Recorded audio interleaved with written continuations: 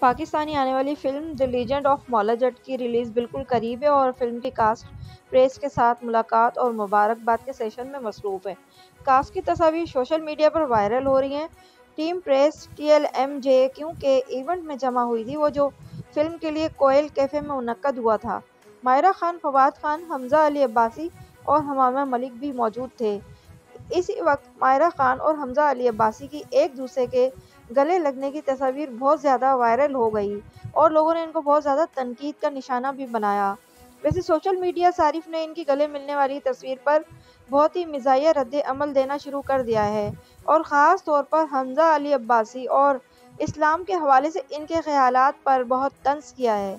Social media सार्फिन का कहना यह था कि हमजा अली अब्बासी की इस्लाम की अपनी तशरी है और ये इस्लाम के बारे में बातें करते रहते हैं और बताते रहते हैं। और बहुत इस्लामी बनते हैं, लेकिन इन्होंने ये एक मखसूस आलम दीन की पैरवी करने पर ज़ोर दिया कि इसे डिस्को भी कह देना चाहिए।